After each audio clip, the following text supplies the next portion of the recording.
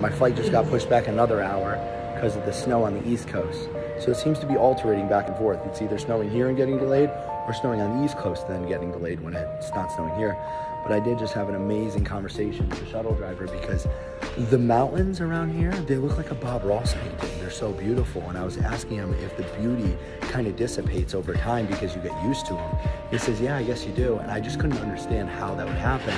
But then I made the correlation to the foliage in Connecticut because what people usually say to me is like, wow, the foliage in Connecticut when they fly in in the fall, I would never get used to this.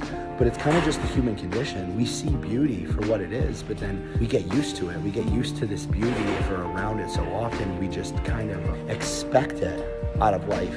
And it isn't until life has, gives us hardship where that kind of goes away. Because when life gives us hardship, we can do one or two things. We can paint life in black and white and see all the ugly and all the hardship that's coming, or we can see life in color and say, you know what, I'm really lucky. I'm really lucky to be alive. I'm really lucky for the foliage. I'm really lucky for all these things. I'm really lucky that I got delayed here for the time period that I did because I get to experience those mountains a little bit longer. I like get to have engaging conversations with strangers and learn a little bit more about them. They share their experience with me, and then I get to learn more about life. And when I learn more about life, I learn more about myself, and then I can learn more how I can serve other people.